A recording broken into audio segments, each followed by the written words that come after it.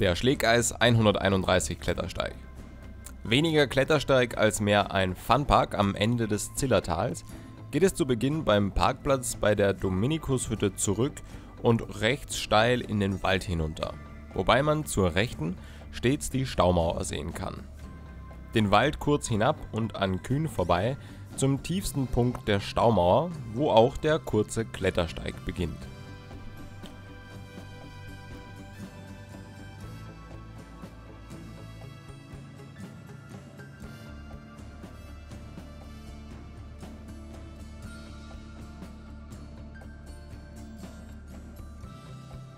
...131 Meter gilt es entweder leicht mit der Schwierigkeit B oder auch etwas schwerer bei CD zu überwinden.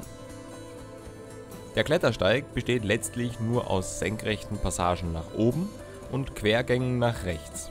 Wer sich die steile direkte Variante zutraut, kann bei der zweiten Rastplattform gerade nach oben oder über die B-Variante weiter nach rechts.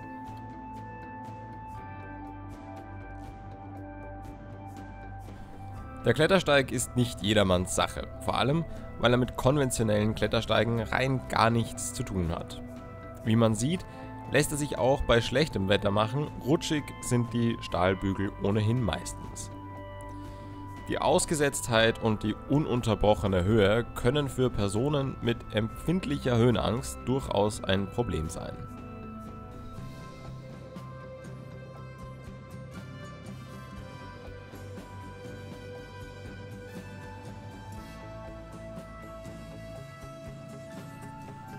Wenn dir der kurzknackige Tourguide gefallen hat, freuen wir uns über einen Daumen nach oben. Abonniert auch unseren Kanal, um in Zukunft Klettersteige, Hochtouren und Wanderungen immer als erstes zu sehen und auch interessante Ausrüstungsvideos nicht mehr zu verpassen. Wenn dir Steige gefallen, dann empfehle ich dir auch übrigens das Video vom Peter Kofler Klettersteig. Der hat nichts mit einer Staumauer zu tun. Bis zum nächsten Mal wünschen wir euch noch eine schöne Zeit und Bergheil.